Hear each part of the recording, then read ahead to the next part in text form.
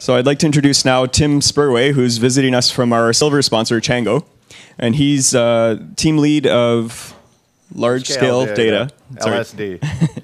Apologies to anybody who gives me a, uh, anybody who gives me a title more than five words at this point is probably going to get it wrong. But he's going to be talking about dancing with big data using Inferno and Disco. So let's give him a big, big round of applause.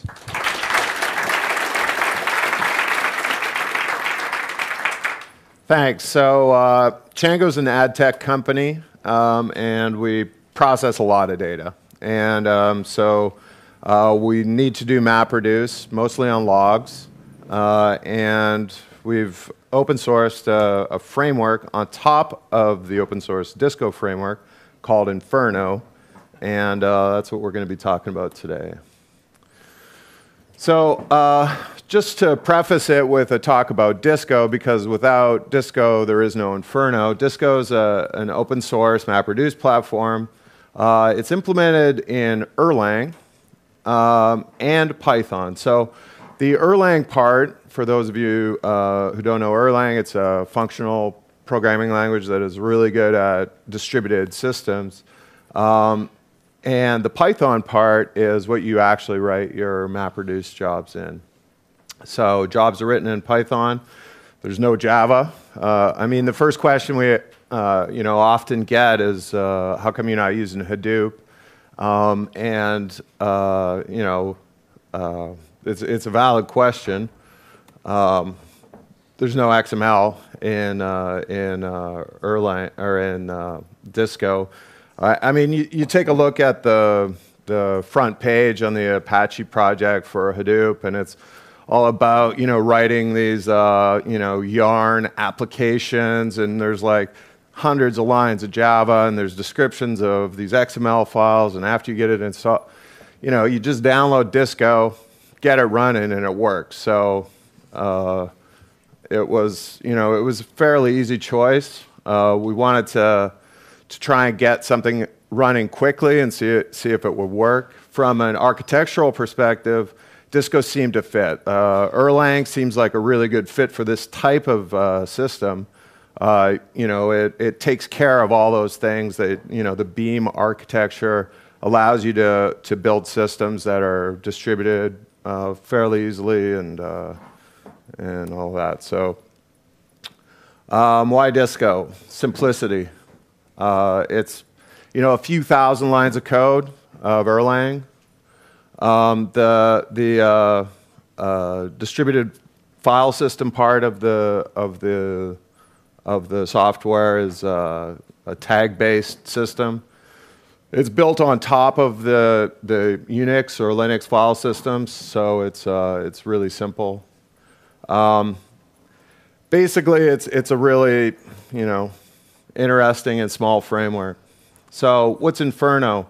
What we wound up doing is we, we wrote a lot of MapReduce code. So you know you write your map, you write your reduce, and we've got a lot of a lot of different types of logs and a lot of different types of calculations or queries we want to do. We wound up writing a lot of kind of the same stuff over and over again, and thought, you know, is there an easier way to do this? Uh, there's a lot of boilerplate and so on. Um, so Inferno started out as kind of uh, a rule-based approach to doing uh, MapReduce. Uh, we've got some, uh, you know, a lot of uh, types of jobs that, that we like to uh, that we like to do. One of the things that we want to do is take logs and populate a data warehouse, kind of automatically. So Inferno's running. It's it's uh, you know there's rules running in there that uh, are trying to summarize data into into a data warehouse. Optimistically looking for new data. Um, you know, spawning off a MapReduce job to summarize that data and insert it into a data warehouse that our front end applications, reporting applications, and so on can then go and take a look at and uh, you know So Chango's uh, ad tech company. Uh, we do search retargeting. Um, we're on the exchanges, the ad exchanges. So there's uh, there's about 10 exchanges we we're on. Um, we get hundreds of thousands of requests for uh, displaying ads per second. Um, this translates into billions of records per day. Uh, and what and we've got about you know 50 to 100 rules that we run regularly um, on this data to to target different um, dimensions of the data.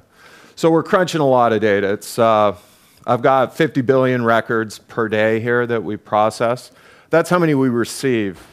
A lot of those records we go over multiple times. I'll talk about key sets later and a strategy to reduce the number of times we have to go over each record of this data, but it's a lot of data. Um, uh, our cluster has about uh, half a petabyte of uh, storage, which, I mean, that's not that much, but we only keep about two months worth of data uh, online at, at any given time. So we're dealing with quite a bit of data. Uh, Inferno can, can be used, it has multiple facets. The first facet is uh, it's a rule-based query language. So you want to sum up some, you know, some dimension of your data. You want to select keys and values from certain logs and do summary type queries, uh, filtering, and so on. So it allows you to do that. It's a DSL for logs. But also there's, uh, there's the use case that we have where we want to summarize the data uh, once, insert that summary data into a data warehouse, and then, um, and then archive it to say, you know, let's not process this data again um, so that we can, you know, do the slicing and dicing in a, in a data warehouse. Um, we also use it for distributed computing tasks. Uh, Inferno rules can, a lot of times you just want to do a lot of things to a lot of URLs or, uh, so that's another use case of, uh, of Inferno is just distributed computing. So uh, we deal with a lot of logs. The first, uh, first kind of version of Chango used queuing systems and stuff like this to try and to try and summarize data in real time, and, and we quickly, you know, got buried under the amount of data we were having to process. So we simplified our architecture into into log-based uh, uh, systems, uh, and we standardized on JSON. Um, so every single log that we deal with uh, is a JSON log. Uh, every single line is a valid JSON expression, I guess, if you will. And um, you know, there's a standard way, like our, our logs are fairly structured. We try and keep naming of fields and stuff across the different types of logs consistent and so on. And this really pays off. If you spend some time refactoring your data, we found um, you you know, reap a lot of benefits from that. Um, just to talk about how Disco uh, stores files, it's a distributed file system. You set a replication uh, across your cluster, so replication factor, and it, it, allows you to, you know, have every single chunk or log file, uh, you know, replicated so that you can use that replication to gain concurrency, really it's a basic tenet of MapReduce is you really need to have replicated data in order to uh, get concurrency. Um, Disco uses uh, what they call, well, let's talk about Disco for a while, uh, a chunk, which is when you chunk uh, into Disco, it will compress it and you pass it a tag. Now, uh, they call it a blob, so the, the blob is, is just a chunk of data. And your tags, you can have a one-to-many uh, relationship with, between tags and, uh, and data. So uh, each tag uh, can, can hold many blobs of data, and uh, it's fairly flat. I mean, a tag is just a, a string. By convention, they, we use colons within the tag name to uh, you know denote different parts, like where is this log coming from, what's the date of the log, um, you know what format is it in, and so on. A lot of the operations in DDFS allow you to work on aggregates of prefixes of tags. So if you wanted to process all of your uh, uh, So here's a log. Uh, at the very top is the, the tag name, and this is an actual uh, tag we use. Uh, you can see it's from a thing called a collector, and it you know, hints at search data that's for a particular date. Uh, I've simplified a lot of this stuff to uh, protect the innocent, but um, you know, this is a, it's a typical log. That's one line of data in the log, and it's a search on on Google. Uh, here's an Inferno rule. So what I'm trying to say is, you know, give me this is a query type uh, search. It's, it's saying, give me all the searches in my log um, by data source, by, you know, where did it come from. So we see um, you have source tags, that is where in DDFS am I getting the data. Uh, you have a thing called uh, parts preprocess, and I'll talk about that in a sec. Uh, and then you have keys and values.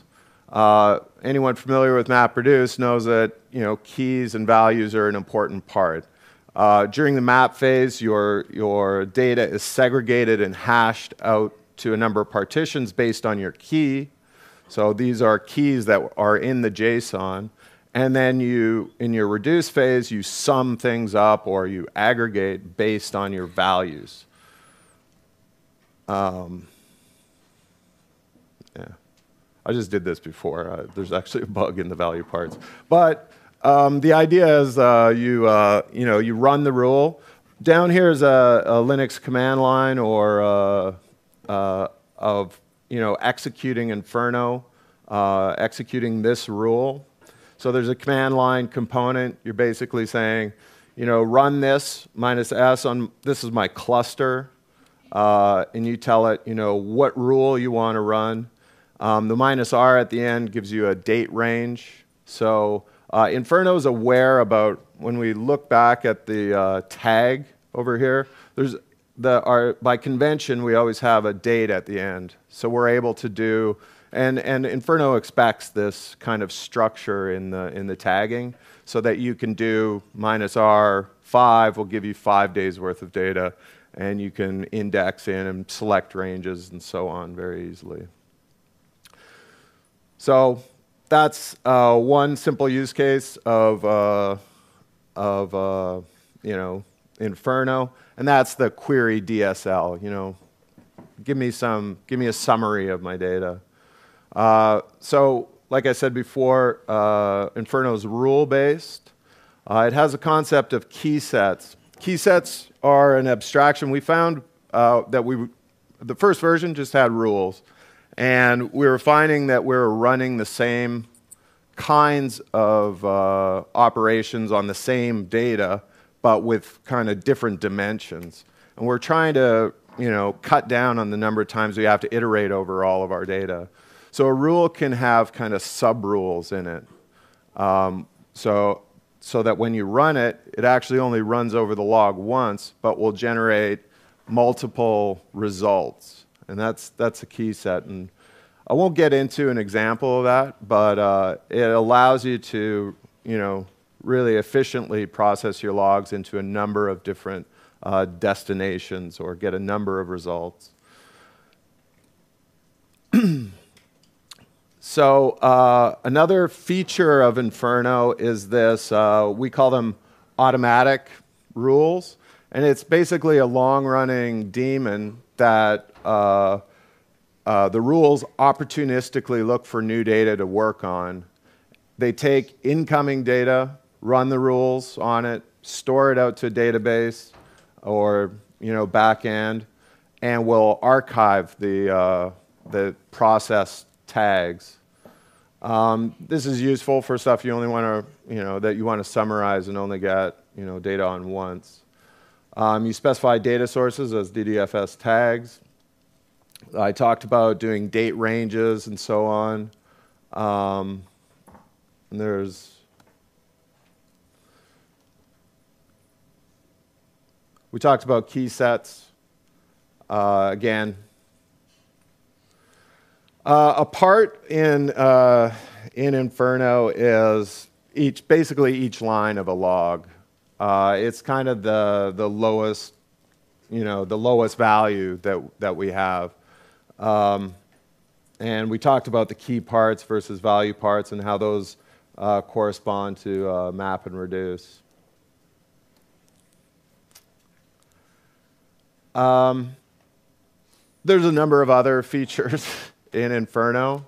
Uh, we're going to run out of time, but uh, there's a lot of other uh, features that allow you to manipulate, filter, or generate uh, more data or less data uh, at the line by line level.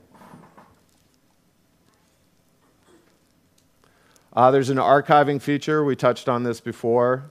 Uh, this allows, it's a mechanism built into Inferno that allows you to uh, you know, only process one log one time. Here's another, uh, here's another uh, this is uh, an example of an archiving or automatic rule um, that uh, will go over top of a, an impression log, process it, save results to a particular table. Um, the, if we wanted to in, uh, introduce uh, multiple different destinations for uh, results, we could introduce uh, multiple key sets in here, which would allow you to run over the log once and shoot data out to multiple different tables in your back end. Okay, so that was kind of a whirlwind tour uh, of Inferno. I hope I uh, explained it okay to you guys. Um, it's again, it's open source. Uh, it's on Bitbucket. We're gonna probably be moving it as well onto Git. A lot of people have been asking for that. Um, docs are on rtfd.org, uh, and there's Python, uh, like uh, a group for it as well, in Google Groups. All right?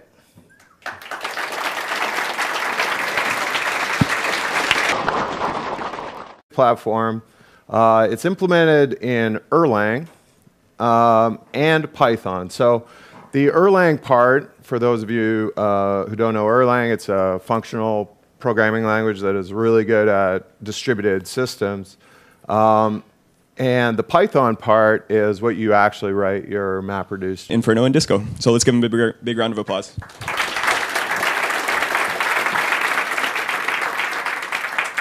Thanks. So uh, Chango's an ad tech company, um, and we process a lot of data. And um, so uh, we need to do MapReduce, mostly on logs, uh, and jobs in.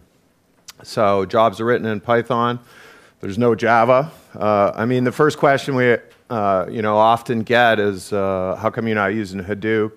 Um, and uh, you know, it's, it's a valid question. Um, there's no. So I'd like to introduce now Tim Spurway, who's visiting us from our silver sponsor, Chango. And he's uh, team lead of large scale, scale data. data. LSD. Apologies to anybody who gives me a, uh, anybody who gives me a title more than five words at this point is probably going to get it wrong. But he's going to be talking about dancing with big data using. And we've open sourced a, a framework on top of the open source Disco framework called Inferno, and uh, that's what we're going to be talking about today. So, uh, just to preface it with a talk about Disco, because without Disco, there is no Inferno. Disco is a, an open source MapReduce